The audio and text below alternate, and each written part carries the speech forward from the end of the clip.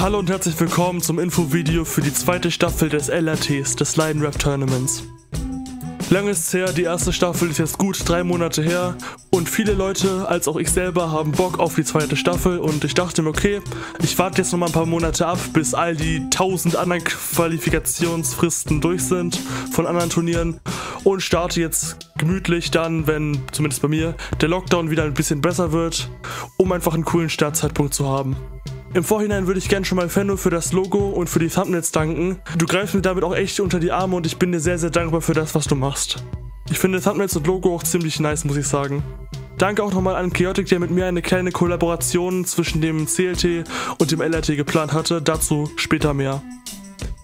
Und weil ich versuche, das Turnier möglichst community-nah zu halten, habe ich diesmal wichtige Dinge auf meinem Discord besprochen und über vieles abstimmen lassen.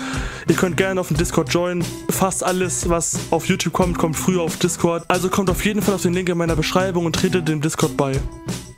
Okay, dann kommen wir jetzt zu den allgemeinen Informationen, die das Turnier betreffen.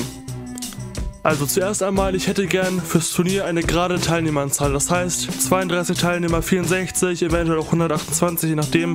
Auf jeden Fall eine Zahl, die ein gerades 64, ein gerades 32, ein gerades 16 gewährleistet. Bei einer ganz schwierigen Anzahl an Teilnehmern lasse ich mich eventuell auch vor eine Vorrunde überreden. Das müssen aber dann so, keine Ahnung, 100 Leute sein. Wenn ich jetzt nicht 40 Leute rauswerfen möchte, kann ich da auch eine Vorrunde veranstalten. Aber ich denke ehrlich gesagt nicht, dass das der Fall sein wird. Und eigentlich wie letzte Staffel auch, was halt nicht ganz so geklappt hat, aber diesmal werde ich da auf jeden Fall strikter und sorgfältiger vorgehen.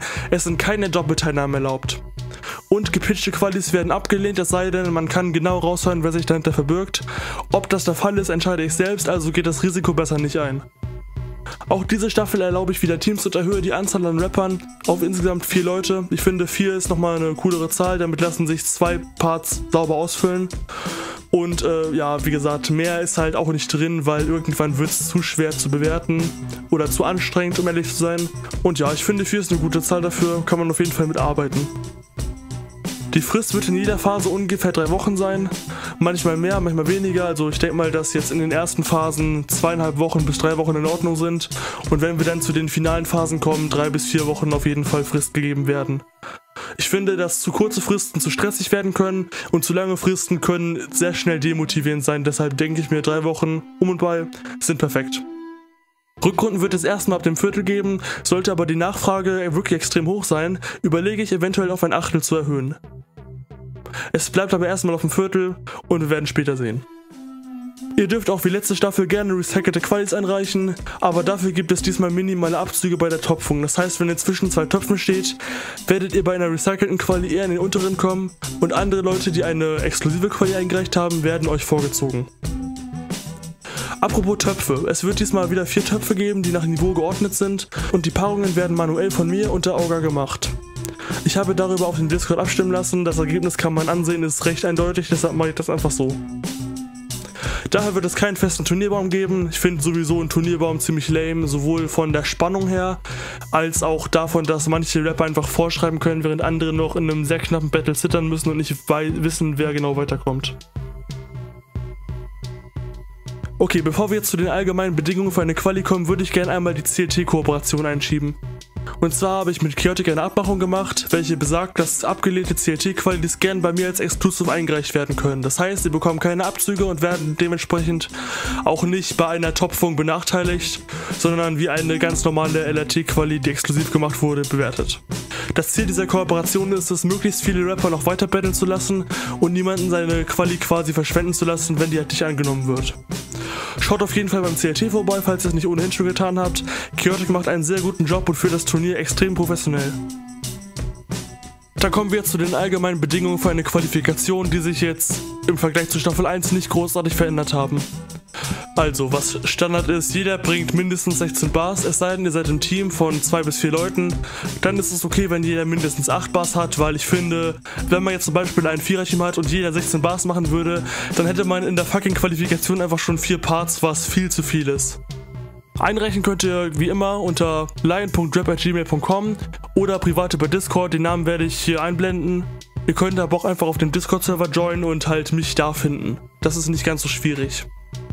Die Runde schickt ihr mir bitte als RAR oder als ZIP-Datei auf FreeTransfer oder ähnlichen Programmen und reicht einmal eure Videodatei ein, also eure Runde als MP4 oder andere Videodatei ist auch in Ordnung, euren Beat als MP3, euren Beat-Link euren Text und gegebenenfalls eine Beschreibung, wo Werbung, irgendwelche Nennungen, also wenn ihr quasi irgendwen, der euch gemischt hat, der euch gecuttet hat oder sowas nennen wollt, könnt ihr da nennen und ein Wunschframe für Thumbnail. Wenn ihr mir keinen schickt, mache ich das selber. Ich denke mal, ich bin da ganz gut drin. Könnt ihr ja sehen, die meisten aus letzter Staffel wurden von mir gemacht. So, dann erzähle ich euch jetzt mal, wie der Ablauf in der Qualifikationsphase ungefähr aussehen wird. Der ist nämlich im Vergleich zu Staffel 1 ziemlich anders. Genau, was ich vorhabe, ist, alle Qualifikationen zu sammeln und am Ende der Frist auf eine gerade Teilnehmeranzahl zu kürzen. Das heißt, wenn jetzt zum Beispiel 70 Leute einreichen, kürze ich die auf 64 und lade dann die 64 Besten quasi hoch. Das heißt, nach der Quali-Frist beginnt die Upload-Phase, in der ich über ein, zwei Wochen verteilt die Qualis hochlade. Ich habe geplant, die Teilnehmer in einem extra Video vorzustellen, da ich dieses Konzept selber ziemlich nice finde. Ich werde außerdem einen festen Uploadplan erstellen, den ich dann auf den Discord aufschreibe. In der ersten Battle-Phase werde ich dann die Qualis bewerten, ob im Stream, ob als extra Video oder halt als Text. Muss ich mal gucken, je nachdem wie ich Zeit und Lust habe. Und in der Pause zwischen Infovideo und Ende der Quali-Frist habe ich mir überlegt, ein paar Streams zu der ersten Staffel zu machen. Ob und wie ich das mache, überlege ich mir noch, aber ich versuche irgendwie das Ganze zu füllen, damit sich diese vier bis fünf Wochen jetzt nicht zu sehr erstrecken. Alles klar, dann kommen wir jetzt erstmal ein bisschen zum Regelwerk und fangen mit dem Punktesystem an, was sich quasi gar nicht verändert hat im Vergleich zu Staffel 1. Wir haben wieder einen Videopunkt, drei Audiopunkte, fünf Punchpunkte, das sind Text und Delivery zusammen und einen Extrapunkt, was insgesamt 10 Punkte ergibt. Die Technik lässt sich dieses Mal ein bisschen freier bewerten, also muss ihr nicht zwingend an den Text gebunden sein und kann auch, wenn sich mit Hilfe von gut gesetzten Reimen coole Flow-Patterns oder ähnliches ergeben, kann man das auch gerne bei der Audio anmerken. Nun zu den Minuspunkten, die sich auch fast gar nicht geändert haben. Also es wird ab der Battlephase Minuspunkte für zu spätes bzw. unvollständiges Einreichen geben. Wie letzte Staffel auch gibt es für fehlende Texte, Beats oder sonstiges bis zum Upload-Datum einen Minuspunkt. Das heißt, wer es nicht hinbekommt, mir bis zum Upload des Battles diese Sachen zu schicken oder nachzuschicken, bekommt einen Minuspunkt. Und für zu spätes Einreichen gibt es pro Tag minus einen Punkt je Juror. Das heißt, wenn dein Battle von drei Juroren bewertet wird, verlierst du drei Punkte nach einem Tag, also 10% der Gesamtpunkteanzahl, was halt sehr schmerzhaft sein kann und das kann sich, wie man in Staffel 1 auch gesehen hat, sehr aufstocken. Da gab es so einige, die mit einem negativen Ergebnis verloren haben, also nimmt die Fristen ernst. Fristverlängerungen müssen bei mir beantragt werden und mit dem Gegner anschließend vereinbart werden. Das ist genauso wie in Staffel 1 und da werde ich auch keine Ausnahmen machen, nur wenn der Gegner es möchte, wird die Frist auch verlängert. Was ebenfalls klar ist, ist, wenn es Verlängerungen gibt, dann bekommen die auch beide Seiten, also wenn du mehr Zeit bekommst, bekommt sie dein Gegner auch, das ist nur fair. Und äh, eine Änderung, die ich jetzt auch spontan gemacht habe, weil mir das ziemlich auf den Sack ging letztes Mal. Verlängerungen dürfen bis einen Tag vor der Frist bei mir beantragt werden. Also wer meint mir am Tag der Frist abends Bescheid zu sagen, yo, kann ich noch eine Verlängerung haben, der hat Pech, weil ganz ehrlich, sagt mir früher Bescheid oder lebt halt mit den Konsequenzen. Ich habe keinen Bock, das noch so kurz vor Ende umzustrukturieren. Nun zum Preisgeld. Es sind insgesamt 100 Euro Preisgeld vorerst erstmal vorgesehen. Eventuell ändert sich daran noch was, aber es werden mindestens 100 Euro sein. Wird es bei 100 Euro bleiben, dann wird das Preisgeld wie folgt aufgeteilt. Der erste Platz bekommt 70 Euro, der zweite Platz bekommt 30 Euro und der dritte Platz bekommt gegebenenfalls eine Wildcard, je nachdem, was ich nach der zweiten Staffel so vorhab. Ob es ein Battle in Platz 3 gibt, wird dann spontan entschieden werden.